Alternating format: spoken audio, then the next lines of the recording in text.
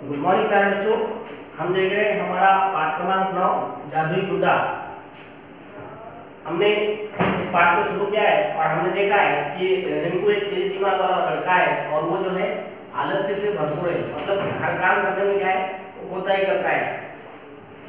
और सही समय पर वो जो है अपना गृह कार्य भी पूरा नहीं करता है। एक दिन क्या हुआ कि रिंकू को स्कूल जाने के लिए देर हो गई है। और जब वो बस बस स्टैंड पर पहुँचा है, तब जो है स्कूल की बस वहाँ से चली गई है। तो गीता की माँ ने उससे कहा कि बस वाले, भैया ने तुम्हारा, तुम्हारी जो है काफ़ी देर तक तुम्हारी राह देखी है, तुम नहीं आए, इसलिए वो यहाँ से चले गए स्कूल की ओर। अब जो है जो रिंकू है, उसकी माँ ने जो है, उसके ऊपर क्या है, गुस्सा किया है, और जो है रिंकू ने उसकी माँ से कहा कि मैं क्या है ऑटो रिक्शा से चला जाऊँगा। अब जो है रिंकू की माँ ने कहा, क्या तुम्हें पता है कि आज क्या है ऑटो रिक्शा की क्या है हड़ताल है? तुम समाचार पत्र तो पढ़ते नहीं है, तुम्हें जो आसपास की जो घटनाएँ होती है, उनके बारे में तुम्हें कुछ भी वर्तमान में जो घटनाएँ घट रही है, उनके बारे में तुम्हें कुछ भी मालूम नहीं है। ऐसा जो है, उसकी माँ ने गुस्सा कर कर उसको उससे कहा है। अब जो है, रिंकू ने कहा है कि, माँ, मैं जो है, बीच वाले रास्ते से स्कूल जल्दी पहुँच जाऊँगा। ऐसा जो है उसने कहा है।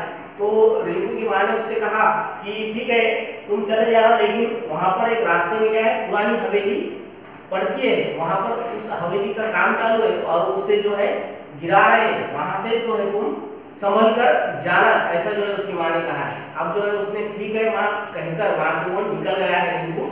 और पैदल वो रास्ते से स्कूल की ओर जा रहा है। अब रास्ते में जब वो पुरानी हवेली आई आप उस, नज़र आई तो वहाँ से वो अब जा रहा था तभी उसका जो है ध्यान एक विचित्र गुड्डे के ऊपर पड़ा है। अब उसने देखा है कि एक विचित्र गुड्डा है उसकी एक टांग पर क्या, क्या है? पत्थर है। और पत्थर के नीचे उसकी एक टांग दबी हुई है। और वो दर्द से क्या है? करा रहा है। आपने कभी देखा है क्या? जो बुढ़िया या बुढ़ा होता है वो? बात करते कराहते हैं। ऐसा आपने कभी देखा है क्या? नहीं। लेकिन ये जो विचित्र बुढ़ा है, वो क्या है? उसके जो बुढ़े एक टांग पर जो पत्थर था, पत्थर के नीचे जो दबी हुई टांग थी, उस वजह से वो दर्द से क्या है? करा रहा था। और उसके आँखों से क्या है? आँसू भी बह रहे थे। और उसने रिंकू की ओर जो है, देखा है और उससे कहा है कि, धीमी आवाज़ में उससे कहा है कि, सुनो रिंकू क्या तुम मेरी मदद कर सकते हो? या करोगे ऐसा जो उसने रिंकू से कहा है। तो अब जो है, रिंकू ने कहा है कि, मुझे क्या स्कूल जाने के लिए देर हो रही है? ऐसा जो है उसने कहा है। लेकिन उसने कहा कि, तुम मेरी मदद करो, मैं तुम्हें पलक झपकते ही स्कूल पहुँचा दूँगा। अब इसके आगे हम देखने वाले तो देखिए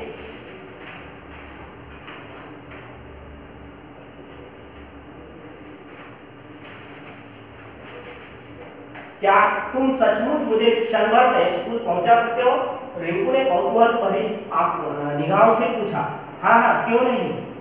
तुमने मेरी मदद की है। मैं तुम्हारे लिए कोई भी काम चुटकियों में कर सकता हूँ, लेकिन मेरी भी कुछ शर्तें हैं। पूरी बात न सुनते हुए रिंकू ने बीच में ही, बीच में पूछा, क्या तुम मेरा हिंदी का रिव्यू कार्य अभी करवा सकते हो? क्यों नहीं? ये लो, मेरी जादुई कलम बुड्ढे ने रिंकू को कलम दी है दी और उछलकर उसके कंधे पर बैठ गया। अब देखिए, रिंकू ने उस जादुई गुड्डे को क्या है? उसकी मदद की है और उससे कहा है, क्या सचमुच तुम मुझे भर में मतलब पलक झपकते ही क्या है, मुझे स्कूल पहुँचा सकते हो? तो वो जादू गुड्डा जो है, कहने लगा कि हाँ मैं तुम्हें क्या है पलक झपकते ही स्कूल पहुँचा सकता हूँ। अब जो है, रिंकू का अगला सवाल, क्या तुम मेरी जो है, हिंदी का गृह कार्य करने में तुम मेरी मदद करोगे? तो रिंकू ने, रिंकू से उस जादू गुड्डे ने कहा कि हाँ हाँ क्यों नहीं? तुमने क्या है, मेरी मदद की है और मैं तुम्हारी कोई भी मदद जो है, चुटकियों में कर सकता हूँ। तो अब जो है जादुई गुड्डे ने जो है, रिंकू को क्या दिया है? एक जादुई कलम दी क्या दिया है? एक जादुई कलम दी है। जादुई कलम दी है। और उसने जो है, रिंकू को रिंकू को जादुई कलम कलम देने के बाद, वो क्या है? उछल कर उसके कंधे पर जा बैठा है। कहाँ बैठा है? कंधे पर जाकर बैठ गया है। अब आगे देखिए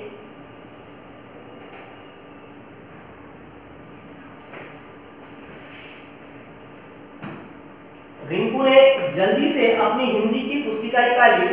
तुम्हें वह पाठ तो याद है ना, जिसका गृह कार्य करना है? बुड्ढे ने रिंकू से पूछा। हाँ थोड़ा थोड़ा याद है। रिंकू ने उत्तर दिया, अपनी आँखें बंद करो और थोड़ा दिमाग पर ज़ोर डालो। सब याद आ जाएगा। बुड्ढा मुस्कुराकर आँखें मटकाते हुए बोला। रिंकू ने वैसा ही किया और कुछ समय आ, कुछ ही समय में अपना गृह कार्य पूरा कर लिया। अरे बिल्कुल जादू की तरह सब काम हो गया। तुम तो कमाल के बुढ़े हो। क्या नाम है तुम्हारा? रिंकू ने बुढ़े से पूछा। चिंकू चिंकू नाम है मेरा। अब देखिए जो रिंकू है वो जो है उसने जल्दी जल्दी में जो है अपना हिंदी का कार्य पूरा कर लिया है और हिंदी की उसने पुस्तिका निकाली है और उसने कहा है कि मुझे जो है हिंदी का कार्य पूरा करना है। तो अब जो है जादू मुद्दा उससे पूछ रहा है। क्या पूछ रहा है कि क्या मुझे तुम बता सकते हो कि क्या कौन सा पाठ तुम्हें अब जो है जादू मुद्दा उससे पूछ रहा है कि क्या तुम्हें वो पाठ तो याद है? जो जिसका तुम्हें क्या है? गृह कार्य करना है। अब जो जो रिंकू है, वो थोड़ा थोड़ा याद करने की कोशिश कर रहा है कि मुझे कौन सा गृह कार्य करना है। फिर जो है जादू बुढ़े ने उससे आँखें मटकाते हुए कहा है। मतलब आँखों से उसे बात करते हुए कहा है कि अपनी आँखें बंद करो और थोड़ा दिमाग पर ज़ोर डालो। सब याद आ जाएगा। ऐसा जो है जो जादुई बुढ़ा है, उसने जो है रिंकू से कहा है। अब रिंकू ने वैसा ही किया है और उसे सब जो है याद आ गया है। और उसने अपना गृह कार्य भी पूरा कर लिया है। फिर रिंकू ने उससे पूछा कि तुम्हारा नाम क्या है? रिंकू ने उससे, उस जादुई बुढ़े से पूछा कि तुम्हारा नाम क्या है? अब जो है, वो जो जादुई बुढ़ा है, वो कह रहा है कि मेरा नाम क्या है? चिंकू। क्या नाम है उसका? चिंकू। तो चिंकू नाम है मेरा। अब आगे देखिए उस जादू बुड्ढे का नाम क्या है? चिंकू, याद रखिए।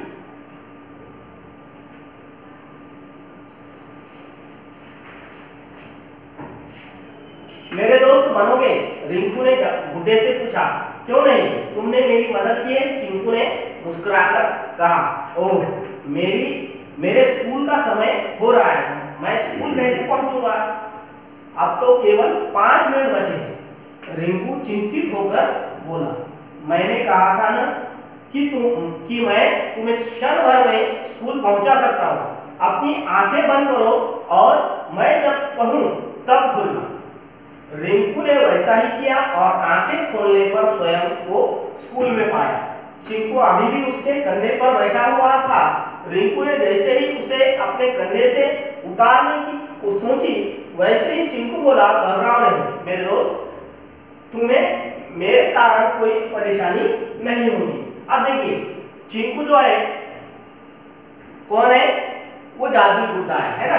और रिंकू ने उस जादुई बुड्ढे से यानी चिंकू से पूछा है कि तो आ, मेरे दोस्त बनोगे?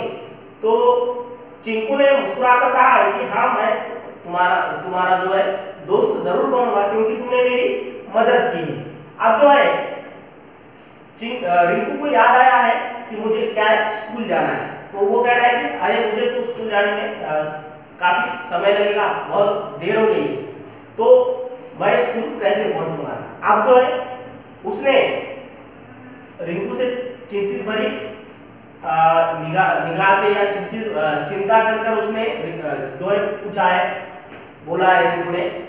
अब जो है जो चिंकू है, उसने कहा है मतलब जादू बुढ़े ने क्या कहा है? कि तुम क्या है, अपनी आँखें बंद करो। जैसा कि मैंने कहा था कि मैं तुम्हें क्षण भर में स्कूल पहुँचा सकता हूँ तो तुम क्या है, अपनी आँखें बंद कर लो। जब मैं कहूँगा, तभी खोलो। और जैसा ही रिंकू ने वैसा ही किया है, और जैसा ही उसने अपनी आँखें खोली, तब उसने स्वयं को कहा पाया है? स्कूल में पाया है। अब देखिए, चिंकू जो है, अभी भी उसके कंधे पर ही बैठा हुआ है। वो उतरा है क्या? नहीं। तो रिंकू उसे कह रहा है कि आप उसे उतारने की कोशिश कर रहा है। तभी चिंकू ने उससे कहा कि घबराओ घबराओ नहीं मेरे दोस्त। तुम्हें मेरे कारण कोई परेशानी नहीं होगी। ऐसा जो है, उसने रिंकू से कहा।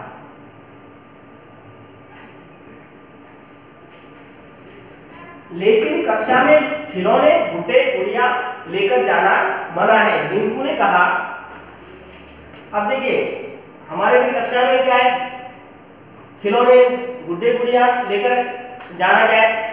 मना होता है। इसी प्रकार जो है, रिंकू के भी स्कूल के अंदर ये सभी जो खिलौने होते हैं गुड्डे गुड़िया जो होते हैं, ये जाना मना है।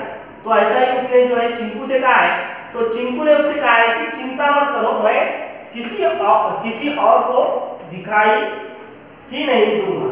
गुड्डे ने कहा, तुम तो कमाल के हो। रिंकू उछलता हुआ बोला, स्कूल में रिंकू का दिन बहुत अच्छा गुजरा। आज उसे किसी भी टीचर से डांट नहीं सुननी पड़ी। गणित का टेस्ट भी शत प्रतिशत सही हुआ। घर वापस आकर रिंकू ने अपने स्कूल यूनिफॉर्म, बैग और जूते मोजे रोज़ाना की तरह इधर उधर फेंके। चिंकू बोला, अरे कितना अच्छा घर है तुम्हारा। लेकिन यह क्या? तुमने अपने कपड़े और जूते मोजे अपनी जगह पर न रखकर इसे गंदा कर दिया? चलो पहले इन सबको ढंग से अपनी अपनी जगह पर रखो, वरना मैं तुमसे दोस्ती नहीं करूँगा।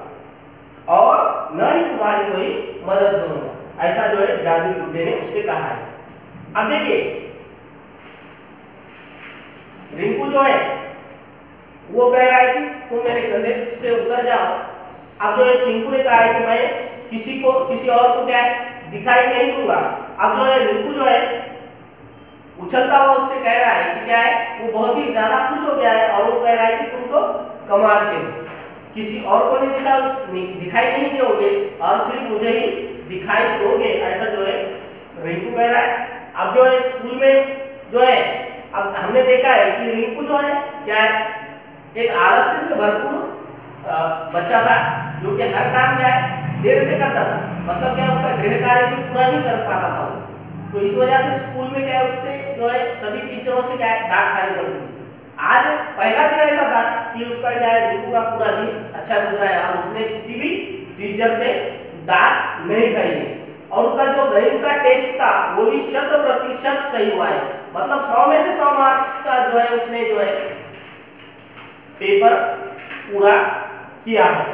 अब जब घर आकर जो है वापस, जब स्कूल से जब रिंकू घर वापस आया, तब उसने जो है अपने स्कूल यूनिफॉर्म और बैग, जूते, मोजे रोज़ाना की तरह क्या है इधर उधर फेंक दिए। जैसा आप भी करते होंगे कोई कोई सभी नहीं करते। लेकिन कोई कोई ऐसा भी होगा जो कि क्या है, अपने स्कूल से जाने के बाद अपनी बैग कहीं कहीं फेंक दे। या स्कूल के जो यूनिफॉर्म है मोजे जूते, ये जो है, इधर उधर फेंक देते हो, है ना? तो उसी प्रकार जो है, रिंकू ने भी किया है। लेकिन चिंकू ये देखकर नाराज़ हो गए उसने क्या किया? कि तुम्हारा घर इतना अच्छा है, सुंदर है, लेकिन तुम भी क्या है? इससे क्या कर रहे हो? ये सारी चीज़ें इधर उधर फेंक कर गंदा कर रहे अगर तुम इन सब चीज़ों को उनकी सही जगह पर नहीं रखोगे तो मैं तुमसे क्या है, दोस्ती नहीं करूँगा। ऐसा जो है चिंकू ने कहा है रिंकू से और मैं तुम्हारी कोई मदद भी नहीं करूँगा ऐसा उसने कहा अब देखेंगे इसके आगे का भाग हमारे अगले भाग में। तो इस पाठ में आए हुए नए शब्द देखिए।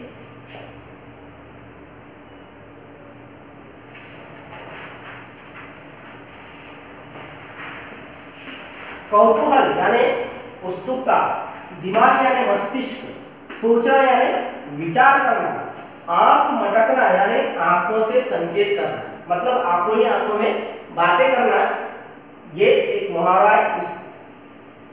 ये सभी जो शब्द है, ये आपको अपने पुस्तिका में लिख कर लेना है। ठीक है? इसके आगे का भाग जो है, हम हमारे अगले वीडियो में देखेंगे।